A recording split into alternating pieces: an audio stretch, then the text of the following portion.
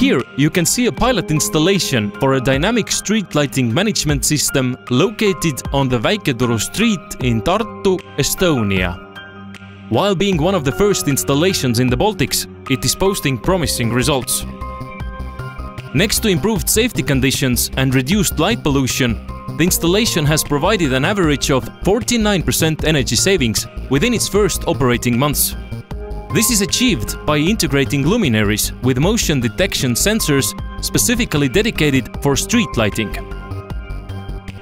The solution provides light exactly at times of movement and dims the light down while there is no one around. In general, motion-based street lighting control systems have three main advantages. First, luminaries are dimmed based on real-time traffic. There is no need for traffic density estimates nor the usage of static dimming profiles. Secondly, at times of traffic, luminaries operate at full power. If there is no traffic and light is not needed, it can be dimmed to minimum lighting regimes. This substantially reduces light pollution and naturally saves significant amounts of energy. At the same time, traffic safety is ensured at all times since light is provided for anyone moving on the street.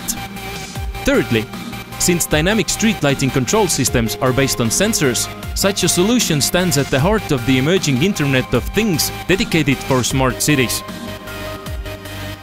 Become part of the lighting revolution and explore the opportunities of dynamic street lighting technologies together with us. Diotech Smart Lighting Solutions